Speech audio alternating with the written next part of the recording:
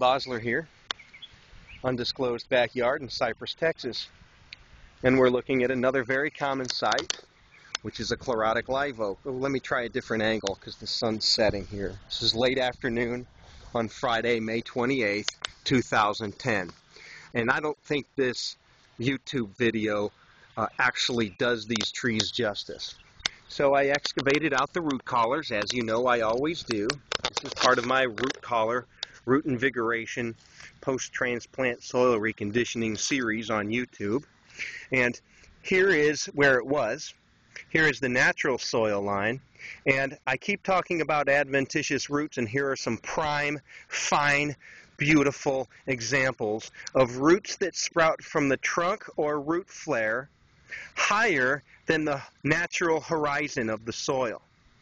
So when we place mulch which breaks down into soil much faster than common wisdom might indicate, on a horizon higher than the natural soil line of the tree, roots will sprout out, and these adventitious roots need to be pruned away. The natural soil line needs to be restored, and this needs to be cleaned up even better because we do have some spongy, rotting bark already on these trees that have only been planted for two years. Again, it's Gene Basler. And uh, the principle applies to this tree as well.